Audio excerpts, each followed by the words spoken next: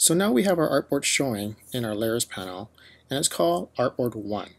So let's change artboard 1 to be a name that was more useful to us.